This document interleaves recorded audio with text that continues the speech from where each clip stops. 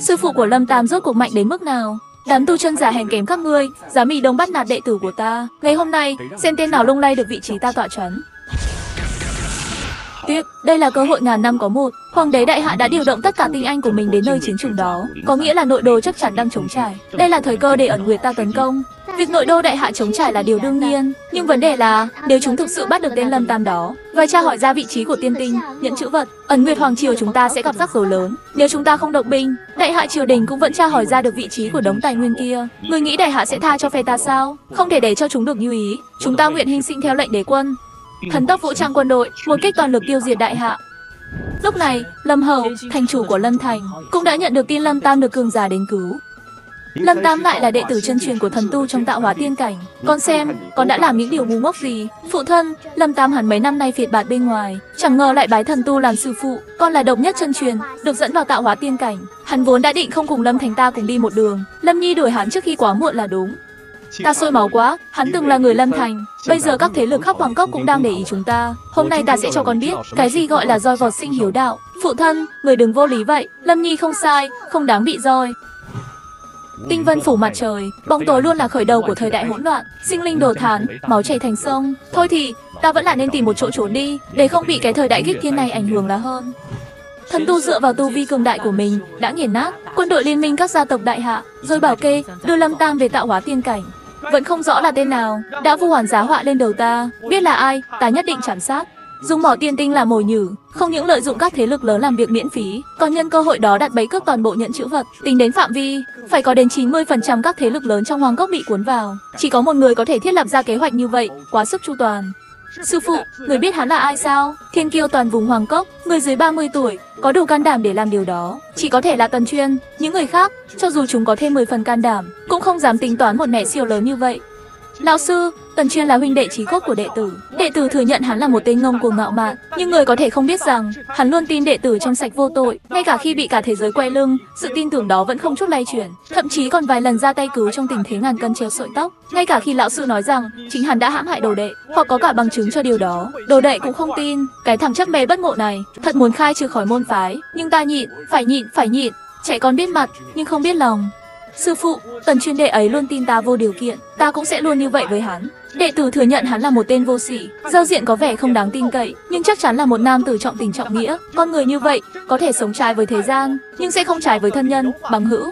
Thần tu nhìn thấy Lâm Tam nhiệt huyết, cứ như đang thấy bản thân mình thời trai trẻ, nắm giữ lý tưởng duy trì hòa bình thế giới, tiến nhập giang hồ hiểm ác, rồi mới cảm ngộ ra, thực tế tàn khốc hơn những gì tưởng tượng rất nhiều. Cuối cùng, đã trở thành hạng người mà bản thân từng ghét nhất. Sư phụ hy vọng chấp niệm của con là đúng, Bozabin, chúc mừng chủ nhân đã bắt Hữu Dung làm con tin đi theo. Chia lìa đôi uyên ương, Lâm Tam bị yêu xa, nhận được một lần quay chiếc nón kỳ diệu.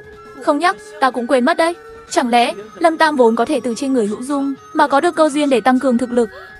U là trời, hắn đang nhìn ta, tên tần chuyên lạnh lùng và độc tài kia đang nhìn ta, hắn cứ thế bắt cóc ta đi, chẳng lẽ hắn theo trường phái thích hành hạ, nghĩ ta thuộc dạng thích được hành hạ, không được, ta không muốn bị trói tay trói chân, hay nằm búi tóc, hay dùng khoan hồng, gu của ta là trực nam tốt tính, ngay thẳng đơn thuần như lâm tam cơ, ngộ khỉ ta không thể ngờ rằng, làm đàn em của một lão đại điên cuồng và bổ láo như vậy, chúng ta không bị vong mạng nơi chiến trường, vẫn có trở nguyên vẹn trở về, còn cướp được nhiều tài nguyên, đúng vậy, ngâm mình trong suối vô tạp, độc chiếm sáu đạo trái, gần như toàn bộ mỏ tiên tinh, cướp những bảo vật khác từ tay các thế lực lớn và hàng ngàn linh thể trong thung lũng huyết hải, cộng thêm hàng vạn cương thi, thậm chí còn khiến toàn hoàng cốc chịu ơn nhờ việc giải độc cho toàn bộ thiên kiêu. Nhưng đáng thương là Lâm Tam, hắn phải gánh chịu mọi tội lỗi và áp lực xã hội mà một người ở độ tuổi này không thể vượt qua.